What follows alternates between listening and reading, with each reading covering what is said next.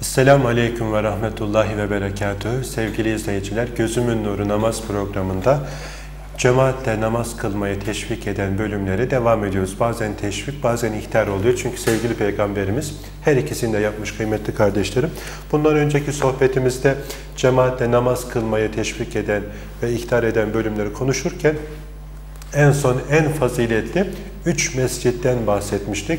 Mescid-i Haram, Mescid-i Nebi ve Mescid-i Aksa diye. Buralarda namaz kılanlara Mescid-i Haram'da 100 bin kat, Mescid-i Nebi'de 1000 kat, Mescid-i Aksa'da 500 kat sevap verileceğini Peygamberimizin müjdelediğini bildirmiştik. Ve buralara ibadet maksadıyla ziyaret etmenin de sevap olduğunu, buralarda ziyaretlerde yapılan efendim harcamalara büyük ödüller verileceğini Peygamber Efendimiz'den öğreniyoruz. Fakat bunun haricinde tarihi mekanları, mescitlerimizi, camilerimizi ziyaret maksadıyla yaptığımız şeyler, ibadetlerden ekstra bu üç mescit gibi sevap alamayacağımızı da bilmemiz lazım. Özellikle Ramazan aylarında bazı genç kardeşlerimiz ya da halkımız, efendim hocam ben özür diliyorum, Ramazan ayı boyunca 30 teravihi 30 farklı cemaatte kıldım diye, e, camide kıldım diye büyük e, şehirlerde kardeşlerimiz konuşuyorlar kendi aralarında. Maalesef bunun ekstra fazladan bir sevabı yok. Yani bununla ilgili sevgili peygamberimizin uyarısı var. Bunu bilmiş olalım. Ama diyelim ki gittik efendim tarihi ulu camilerimizi, büyük camilerimizi ziyaret ettik. Orada mescidin hakkı olan iki rekat tahiyyetül mescid namazı, mescidi selamlama namazı kılmamız gerekiyor. O mescidin üzerimizdeki hakkı olmuş oluyor. Bundan sevap alırız ama ziyaretimizden dolayı ayrıca bir sevap alamayacağız.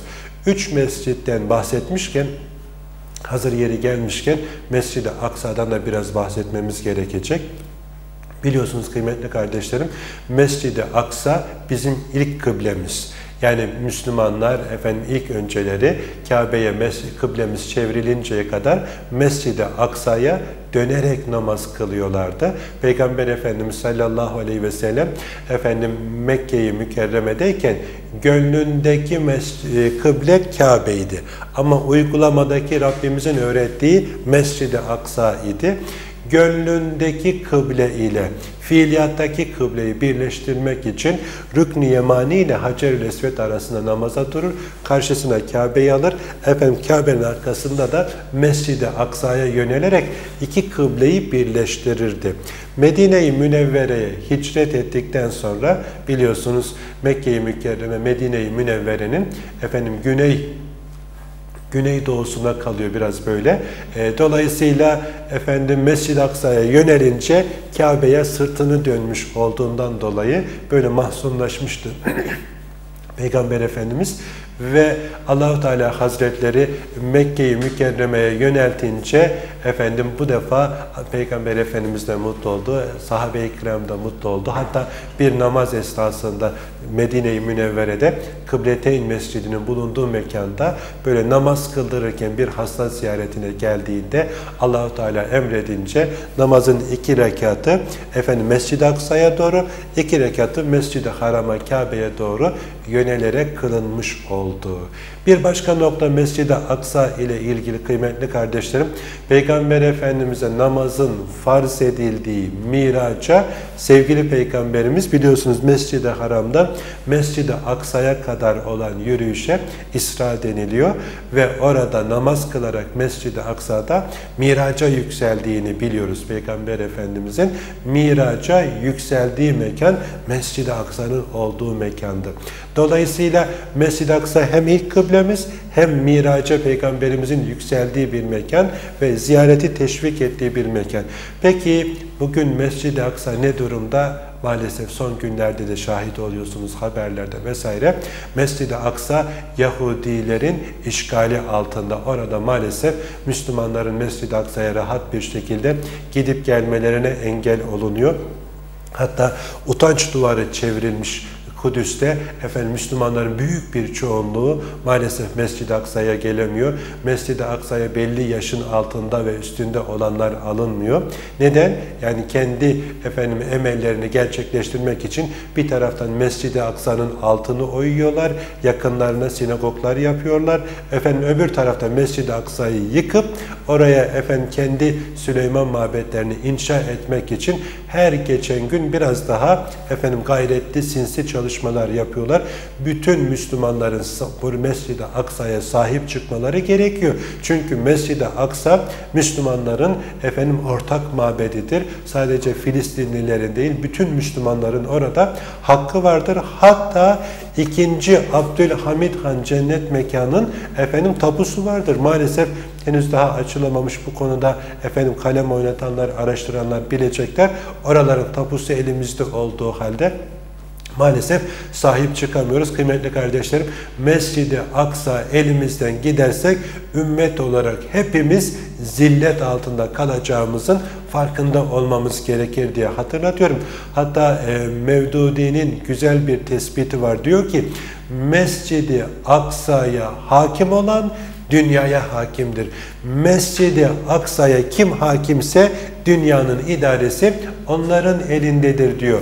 Ve İslam tarihinden de örnek veriyor. Mescid-i Aksa'ya hakim olduğumuz dönemler hakikaten dünyada söz sahibi olduğumuz dönemler olmuş. Bugün Müslümanların zelil durumda oluşu, dağınık oluşu, birbirlerine efendim sahip çıkamayışın neticesinde maalesef Siyonistler orayı işgal altına almışlar, koruma altına almışlar. Maalesef savunmasız Müslümanlar da orada efendim bir çare durumda. Tabi Mescid-i Aksa hepimizin ortak değeridir. Oraya ziyaretler yapmalı. Bu kardeşimize nasip oldu. Mescid-i Aksa'ya gitti. Fakat oradaki zulmü gördüğümde hakikaten çok üzülmüştüm. İsrail askerleri efendim Mescid-i Aksa'ya ziyaret için gittiğimizde hava yollarıyla Tel Aviv'de havalimanında iki saat bizi sorguladılar. Niçin buraya geldiniz? Kiminle görüşeceksiniz? Yanınızda para var mı? Burada efendim Müslümanlar yardım mı edeceksiniz? Vesaire. İki saat kadar sindirmek için göz hapsinde tuttular, sorguladılar. Efendim Mescid-i Aksa'ya gittik, ziyaretlerimizi yaptık. Oradaki efendim her taraf tarih kokuyor. Efendim döndüğümüzde yine havalimanında aynı işkenceyi göz hapsine bizleri maruz bıraktılar. Efendim Türkiye'den geldiğimizi bile bile niye buralara geliyorsunuz diye rahatsız oluyorlar. Öbür taraftan Filistinli kardeşlerimiz de Mescid-i Aksa'ya gidip gelmemizi seviyorlar. Sizin buraya gidiş gelişiniz özellikle Türkiye'deki Müslümanların e, efendim bize moral oluyor, bize güç kuvvet katıyor ve buralar sizin mekanlarınız, buralara sahip çıkmanız lazım diye efendim onlar da bizim oraya gelip gitmemizi arzu ediyorlar kıymetli kardeşlerim. Onun için bizi izleyen imkan olan bütün kardeşlerimden istirham ediyorum. Ne olur bir tura katılın. Efendim Mescid-i Aksa ziyaret yapan kardeşlerimiz var. Değişik turizm firmaları. Efendim oralardan görüşün. Ailece çoluğunuzla çocuğunuzla nice peygamberlerin efendim güzeran eylediği o mekanları ziyaret edin ve Peygamber Efendimiz'i hem bu kutlu müjdesine nail olun hem de efendim namusu olan ümmetin Mescid-i Aksa'ya sahip olmuş oluruz kıymetli kardeşlerim. Mescid-i Aksa'da kılınan namazlara da 500 kat sevap veriliyor. Hatta Ramazan ayında orada kardeşlerimiz iftar düzenliyorlar. Bu iftarlara katılmak lazım. Mescid-i Aksa'da itikafa girmek lazım. Yani oraya sahip çıkmamız lazım. Biz sahip çıkmazsak birileri sahip çıkar. Bu güzel mekanı elimizden kaçırmış oluruz sevgili kardeşlerim. Yine Ebu Derda radıyallahu anh Efendimizin bildirdiği başka bir hadisi şerifte Mescid-i Haram'daki namaz 100 bin namazdır. Benim mescidimdeki namaz bin namazdır. Mescid-i Aksa'daki namaz 500 namaza bedeldir buyurmuş. Başka bir rivayette Mescid-i Haram'daki bir namaz 100 bin namazdır. Benim mescidimdeki bir namaz 10 bin namazdır. Hudut mescidindeki namaz ise bin namazdır buyurmuş. Yani hudutlardaki, sınırlardaki mescitlerde kılınan namazlara da teşvik etmiş Peygamber Efendimiz. Orada da sevabın çok olacağını bildirmiş. Cuma günü camide kılınan farz namaz hac mebrur gibidir. Kabul olunmuş bir hac gibidir. Cuma namazı kılınan bir camide namaz kılmak diğer mescitlerdeki 500 namaza bedeldir buyurulmuş. Demek ki cuma namazı kılınan camide e, namazları cemaatle kılmanın da ayrıca sevabı var. Yine hudutta kılınan namazlara, huduttaki mescitlerdeki kılınan namazlara da büyük sevaplar olduğu Peygamber Efendimiz tarafından bildirilmiş, müjdelenmiş kıymetli kardeşlerim.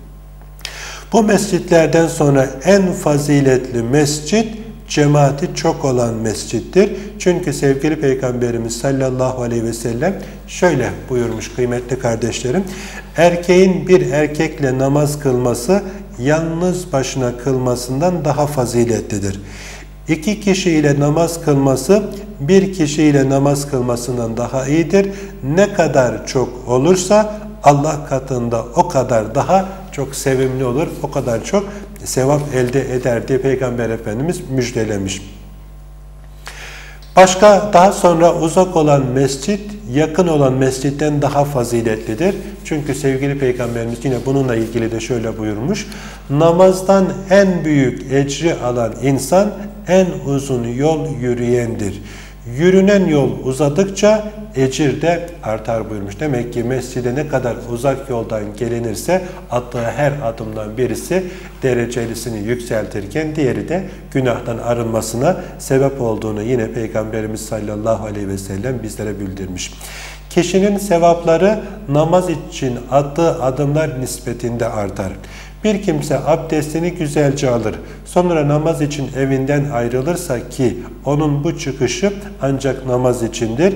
Allah o kimseyi attığı her adım için bir derece yükseltir ve attığı adımlar sebebiyle ondan hataları dökülür buyurmuş. Ayrıca beş vakit namazını cemaatle kılmaya devam eden kimse Sırat Köprüsü'nü ilk geçenlerden olur ve onu şimşek gibi geçer. Allah o kimseyi sabıkların ilk zümresinde haşreder. Namazına devam ettiği her gün ve gece için bin şehit sevabı yazılır buyurmuş. Bir kimse cennetin orta yerinde kalmak isterse cemaate devam etsin. Şeytan bir kimsenin peşinde olur. iki kişiye ise daha uzaktır buyurmuş.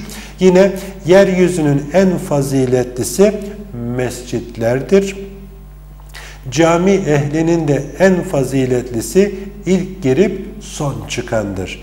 İlk cemaate gelen, ilk Müslüman olan kimse gibidir buyurmuş Peygamber Efendimiz. Sevgili kardeşlerim yani bu sevapları duyduktan sonra herhalde kadın erkek çoluk çocuk hepimiz camilere koşar adımlarla gitmemiz lazım. Demek ki yeryüzün en faziletli mekanları mescitler, cami ehlinin en faziletlisi ilk önce girip sonra çıkanı, ilk cemaate gelen de ilk Müslüman olan gibi büyük sevap alacağını Peygamber Efendimiz sallallahu aleyhi ve sellem bildirmiş. Eh bize ne düşüyor?